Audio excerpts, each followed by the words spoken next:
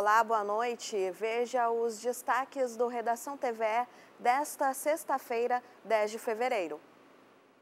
ONG faz campanha de conscientização para combater o assédio contra mulheres no carnaval. E para quem curte a festa de Momo, já estão à venda os ingressos para o desfile das escolas de samba da capital. O lançamento da campanha de financiamento coletivo do novo disco de Leandro Maia. E as dicas para o final de semana que está cheio de atrações culturais. Você me encontrar, não.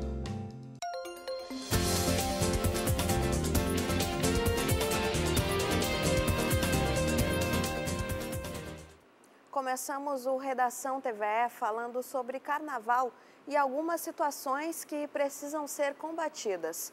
Em uma enquete feita pelo site Catraca Livre, 82% das mulheres afirmaram já ter sofrido assédio durante a folia. E um estudo do Instituto Data Popular aponta que para 61% dos homens, mulher solteira que vai a carnaval não pode reclamar de cantada. E essa naturalização do assédio para a ONG Temes precisa ser combatida. Por isso, lançou uma campanha contra essa prática no carnaval. As ações também têm o objetivo de conscientizar sobre a prevenção de infecções sexualmente transmissíveis. O esquenta para a nossa maior festa já começou. Na quadra, nos blocos do carnaval de rua. O leque ajuda com o calor, mas também auxilia multiplicando uma mensagem importante: respeita as gurias na folia. A campanha é uma ação do programa Jovens Multiplicadoras de Cidadania da Temes, com o apoio do Fundo Canadá e do Fundo de População das Nações Unidas. A Temes já formou cerca de 180 jovens multiplicadoras, que trocam uma ideia na linguagem deles. É de uma linguagem mais de jovem para jovem, sabe? Não tem tanto aquela formalidade. E aí eu acredito que seja mais fácil deles entenderem, deles compreenderem e, consequentemente, se interessarem mais pelo assunto. Os modos de saber se prevenir, a doenças, a onde recorrer.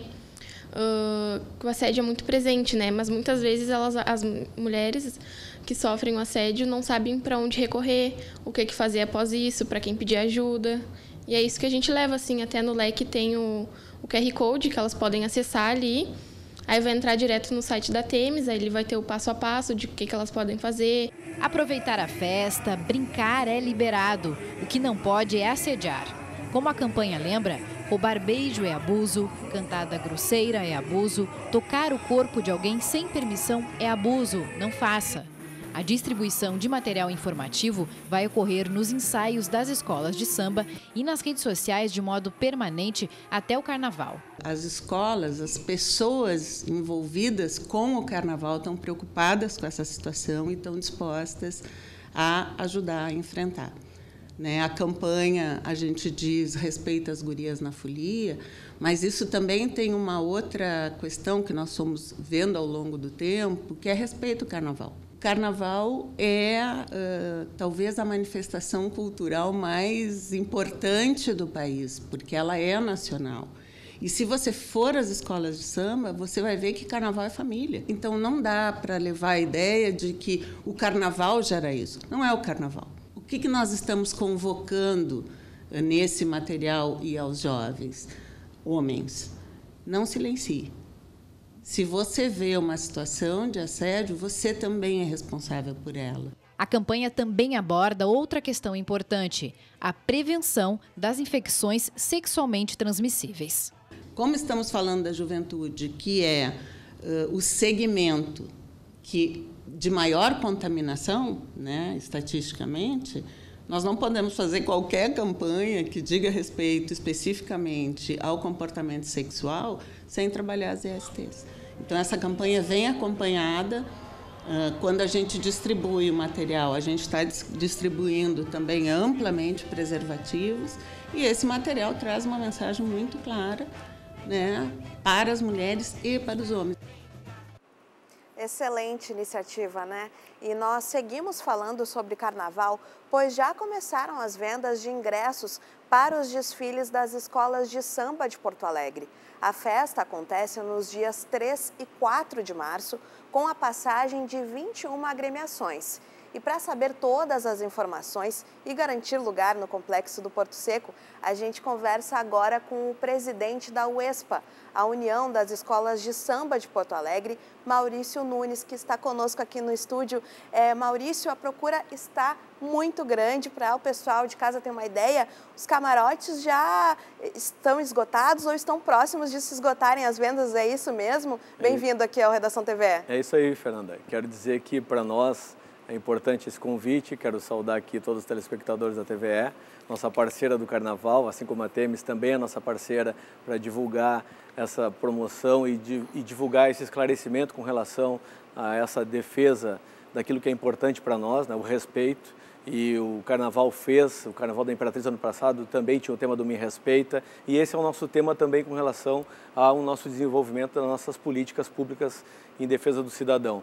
Quero dizer que para nós é muito importante estar aqui, estamos vendendo os ingressos, os camarotes em 24 horas, praticamente 80% já foi vendido, ou seja, o nosso público pós-pandemia está voltando para o carnaval, as nossas quadras estão se movimentando, tem uma preparação de cada escola voltada para a avenida, com muita força, muita dedicação, tem um trabalho muito rico de cultura para ser apresentado, vai ser umas noites bem interessantes e, muito acolhedoras para o nosso público. O pessoal gostou então dessas datas, né, que a gente reforça, que é 13 e 4 é, de março, e no ano passado é, foi em maio, né? Então, numa data é, diferente, agora a gente já podendo ter essa retomada também mais perto do verão, né? Que o pessoal fica mais à vontade. E a ideia é essa, né, Fernanda? A gente poder estar tá, uh, com um ambiente nosso, né, vivendo o ambiente carnaval, né? A gente, estrategicamente, pensando no nosso público, também estabeleceu um calendário que estabelece o calendário de São Paulo, do Rio de Janeiro, de Porto Alegre, Cruz Alta também em seguida, Uruguaiana também em seguida. Então, nós ajustamos um calendário para que o Estado do Rio Grande do Sul viva Carnaval, né? que a gente possa também estar contribuindo com os outros espaços importantes do Carnaval e a gente possa estar divulgando a nossa arte. Então, diferente do ano passado, que foi um Carnaval completamente fora de época em que função tá imagens, da pandemia, né? né? Em função da pandemia, ele nos empurrou para uma data diferente. A gente entendeu que era importante realizar, né, pós-pandemia, também para restabelecer esse aquecimento das escolas, não perder o ambiente. Nós tínhamos uma, uma necessidade de recolocar o trabalho na rua. Hoje, com uma condição muito melhor, as quadras já estão se movimentando o trabalho de ano todo, a gente restabeleceu um ordenamento dos enredos, os compositores, os artistas. Então tem uma composição harmônica muito maior e com muito uma qualidade uh, a ser apresentada também que o público vai sentir isso na avenida. E essa concentração das escolas também em duas noites, né? É, como é que, que, que, que o público vai encontrar nessas duas noites? O público, inclusive, vai ter essa condição de poder estar assistindo ao Prata, a Série Prata e a Série Ouro na mesma noite. Então, elas foram divididas, as escolas, são 21 escolas, aliás, 20 escolas de uma tribo, né, que é nossa tribo importante, e a gente colocou, então, uh, metade das escolas do Prata na primeira noite, a metade do Ouro na primeira noite, através de um sorteio. Na segunda noite, no sábado, também continua o certame do Prata e do Ouro, ou seja, todos os públicos, todos os nossos representantes vão estar vivendo, vão estar uh, sentindo essa experiência do Carnaval de Porto Alegre, também com uma iniciativa muito importante da Prefeitura, com um deslocamento direcionado, assim como é feito no futebol, que tem um transporte direcionado para os grandes eventos, também terá um tratamento especial para o Carnaval. Tem uma série de investimentos importantes. A produtora Opinião está como parceira do Carnaval, a Cubo e a TVE fazendo a transmissão. Né? Uh, tem também a parceria com a empresa Impacto, que vai fazer sonorização e iluminação iluminação, quer dizer, uma Mauri... qualidade muito importante para o nosso carnaval. Com certeza a TVE vai acompanhar, né? A TVE que também é carnavalesca, que curte muito o Carnaval de Porto Alegre. E então a gente reforça, né? Os ingressos estão é, na plataforma simpla.com.br, o pessoal está conferindo na tela também, é, bilheteria oficial também na loja Planeta Surf. E eu agradeço demais a sua presença aqui conosco, Maurício Nunes, que é presidente da UESPA. Que seja um lindo carnaval e até lá, março, março a gente vai noticiando é, todos esses movimentos do nosso Com Carnaval de Porto Alegre. Com certeza nós vamos estar juntos no desfile. Com certeza, muito obrigada, viu? Obrigado, um ótimo Fernanda. final de semana. Obrigado.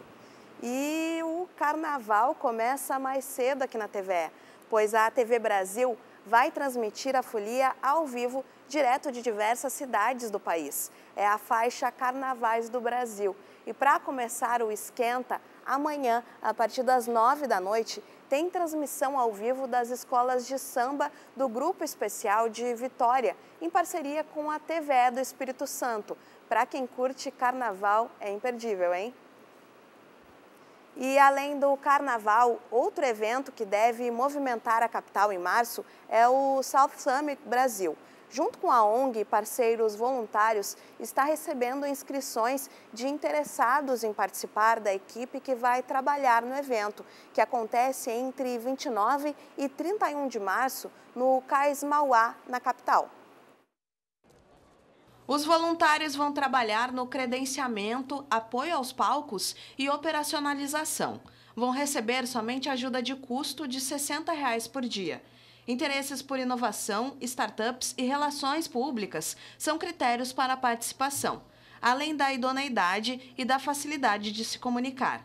No site do Estado, outras informações. Os resultados e horários dos treinamentos vão ser enviados por e-mail aos selecionados. Agora o tempo. O final de semana será ensolarado em todo o território gaúcho. Vamos conferir na previsão.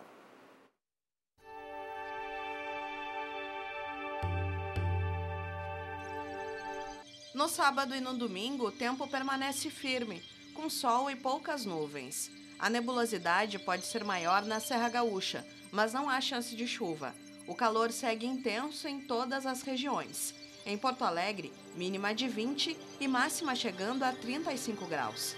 Variação de 23 a 33 em Rio Grande. Em Torres, os termômetros vão dos 21 aos 31 graus. Agora a gente mostra a busca de aprimoramento em um esporte que não perdoa um mínimo erro. Atletas e técnicas da equipe de ginástica rítmica do Grêmio Náutico União participam até o final do mês de um intercâmbio. É uma espécie de imersão que vai acontecer na Geórgia, na Europa. O objetivo é aprender com ginastas da seleção georgiana e treinadoras de prestígio internacional orientação e apoio para chegar mais alto. É assim, investindo na base, que o Grêmio Náutico União forma atletas de alto rendimento. E uma das práticas é promover capacitações internacionais. Dessa vez, com o apoio dos pais na ginástica rítmica. Além das três técnicas, as atletas Laura Serra do infantil, Letícia Lisboa do juvenil e Sofia Silva do adulto vão colocar no currículo um intercamp de quase um mês na Geórgia. Dá em torno assim, de 8 a 10 anos uma preparação de uma atleta para chegar até o alto rendimento, que é o que a gente faz aqui. Essa troca com as meninas, estando em experiência com outras meninas, né? Num nível bem uh, alto, é muito gratificante porque elas, elas se sentem estimuladas e sem falar que todo uh, esse compartilhamento que a gente vai fazer lá nesse estágio de treinamento, a gente vai trazer para cá. Os treinos na Geórgia serão junto com a seleção de ginástica rítmica daquele país. Uma escolha que tem a influência da técnica da equipe principal do União, Ana Danielian, que é armênia e conhece as duas profissionais que vão treinar as atletas. É um berço da ginástica, na verdade. Todos esses países fizeram parte da escola da União Soviética, que é uma escola russa. A Geórgia hoje está com esses, essas pessoas talentosas, né? Uh, que a treinadora Elisobedosvili e a atleta olímpica, que é a Salome Paixeva, que trabalham hoje em dia lá com seleção nacional da Geórgia. Entre as meninas atletas do União, a expectativa geral é aprender muito. Elas prometem se dedicar nos treinos de dia inteiro, com folga só nos domingos, e inclusive melhorar as coreografias individuais para as competições do ano. Já estou com a mala pronta eu já tô com tudo pronto, né? Eu tô muito ansiosa. E a gente vai realmente é, revisar nossas séries, daí a gente vai mostrar para elas e elas vão dando, tipo, uh, novos movimentos, novos passos de dança. Lá na Georgia a gente vai aprender bastante coisas e, uh, tipo, bastante movimento, assim, treinar bastante. A Carolina, que desde o ano passado também é técnica e viaja agora neste posto, já teve a experiência de uma imersão na Rússia como atleta. Eles têm essa cultura, como a gente tem a cultura aqui do futebol, que os meninos desde criança estão vendo os grandes jogadores e sonham nisso. Quando a gente vai para lá, a gente consegue ver essas grandes ginastas. Esse uh, trabalho árduo, repetitivo, não é que não é fácil ser uma atleta em nenhum esporte. Então, assim, te exige no trabalho dos bastidores, é muito difícil. Então, tem que ter uma dedicação, muita disciplina, perseverança para chegar onde a atleta quer chegar. Agora a cultura. O primeiro festival Nós na Fita, na música independente, acontece no Caos Bar, domingo a partir das quatro da tarde. Outras informações pelo e-mail do evento. Confira agora os destaques da nossa agenda. Cantora, compositora e instrumentista Ismalha sobe ao palco do Bárbaro Cervejas Especiais daqui a pouco às 8 da noite. A artista revisita clássicos da MPB, do pop e do rock, além de mostrar canções próprias no formato acústico. Outras informações pelo telefone da casa. Até o final, você se fez mais Jardes Macalé se apresenta pelo Porto Verão Alegre, hoje às nove da noite, no Teatro da Henriques. O artista estará acompanhado pela percussionista Vitória dos Santos. No setlist, as principais obras de mais de meio século de carreira. Entre as canções, as do álbum Besta Fera, indicado ao Grammy Latino 2019 como o melhor de música popular brasileira. O teatro fica na Avenida Ipiranga.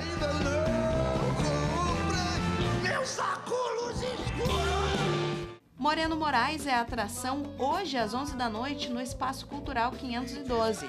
No repertório, criações de nomes destacados da MPB e composições próprias. A cantora Venise Borges vai abrir o show. Pelo telefone da casa, outras informações.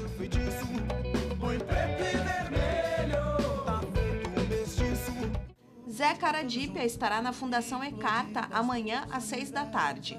O compositor e cantor, nascido em Canoas, foi gravado por intérpretes de prestígio nacional, como Zizi Posse. A entrada é gratuita. A fundação fica na Avenida João Pessoa, em frente ao Parque da Redenção.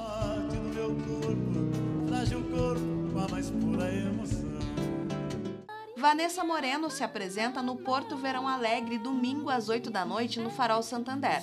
A cantora, compositora e instrumentista está sendo reconhecida como uma das revelações mais talentosas do país. O disco Sentido conquistou inclusive o público do exterior, caso do Japão. O local do show fica no centro histórico, junto à Praça da Alfândega. E este é o último final de semana para quem quiser curtir o Porto Verão Alegre. E a gente separou alguns destaques. Megabeth Macbeth, remixando Shakespeare, estará no Teatro do Sesc nesta sexta e no sábado às 8 da noite. O elenco explora a técnica do sample para reinventar o clássico do bardo inglês. A direção é de Chico Machado e Ricardo Zigomático. O teatro fica na Avenida Alberto Bins, no centro histórico.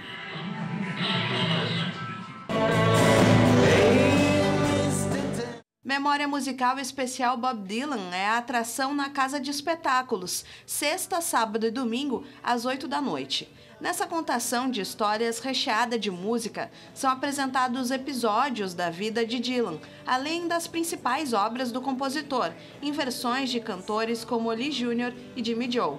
Jussara Gaspar fez a seleção de textos e os interpreta. A casa de espetáculos está localizada na rua Visconde do Rio Branco, no bairro Moinhos de Vento.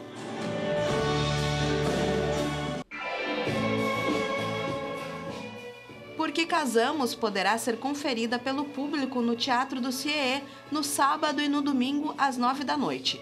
Rogério Beretta e Suzy Martinez mostram com bom humor a evolução de um relacionamento de mais de 30 anos. O texto foi escrito pelo filho do casal, Vitório Beretta. Nestor Monastério dirige a comédia romântica, que faz sucesso desde 2018. O Teatro do CIE fica na Avenida Dom Pedro II, na Zona Norte.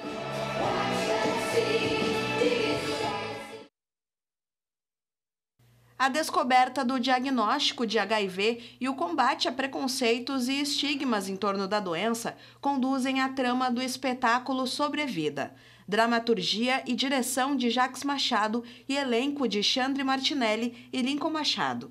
Apresentações no sábado e no domingo, às oito e meia da noite, na Sala Carlos Carvalho da Casa de Cultura Mário Quintana.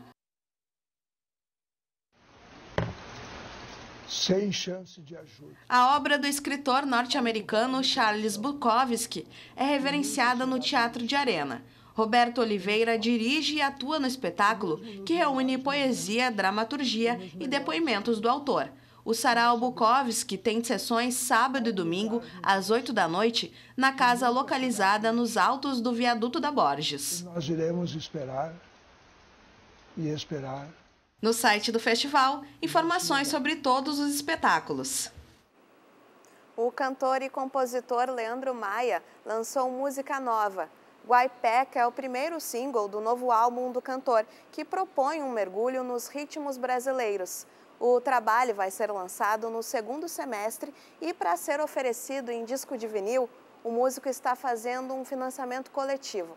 A gente vai saber mais sobre essa campanha com ele, Leandro Maia, que está conosco aqui no estúdio.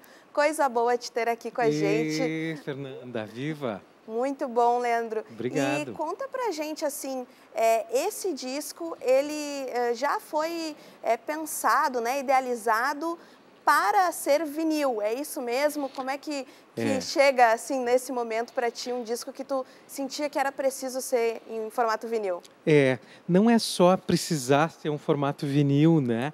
Mas é não caber não, nesse espaço dos beats ali só, sabe?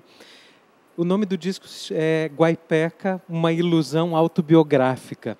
Então, um trabalho em que eu me coloco pela primeira vez olha, só no meu quarto disco eu vou lá e me coloco. E para me colocar como pessoa, também como personagem, como uma biografia ilusória, eu escolho esse bicho, o guaipeca, o cachorro vira-lata, o jaguara, o cusco, em algum bucica em Santa Catarina, é, saguate na Costa Rica, cada lugar com a sua peculiaridade desse bicho tão presente, tão querido da gente, né? E aí eu discuto um pouco sobre a, a questão da identidade.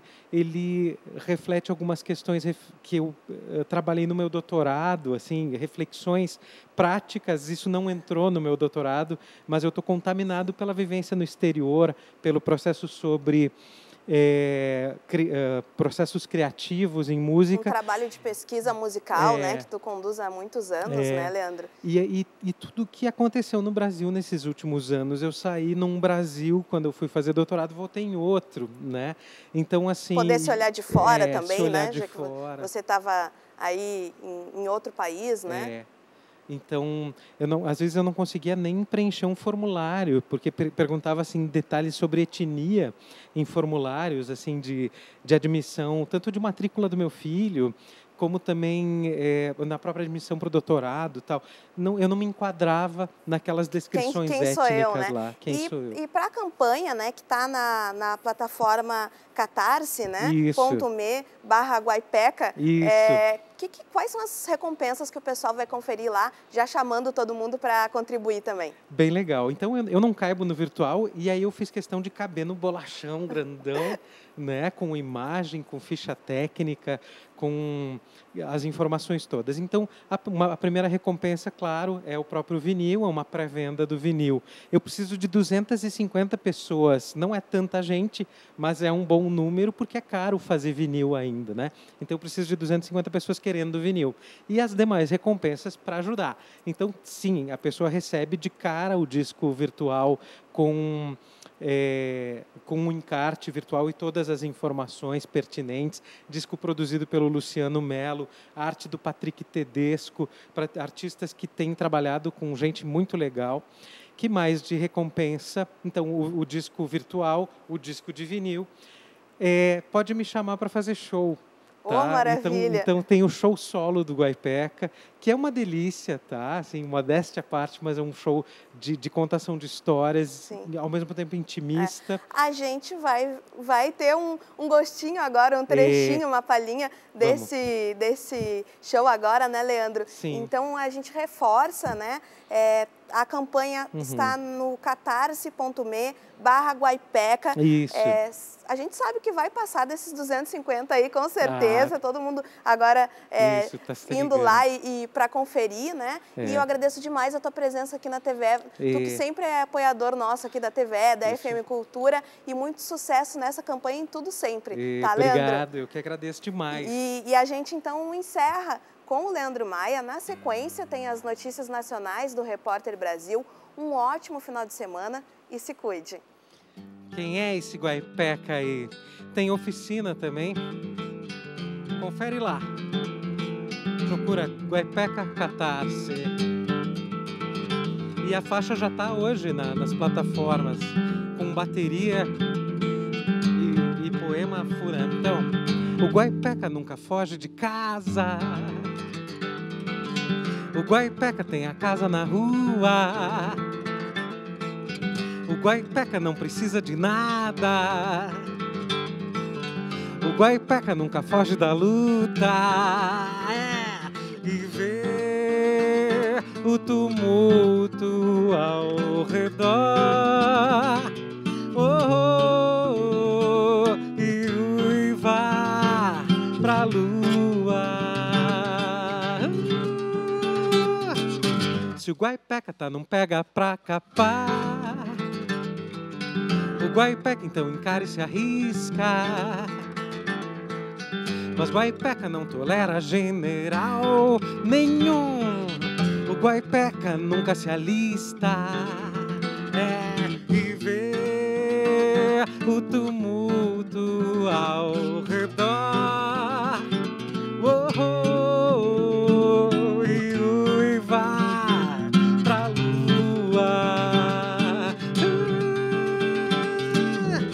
Quando o mundo anda esquisito assim, careta, feio e mal. Eu penso logo num guaipeca olhando à toa marginal.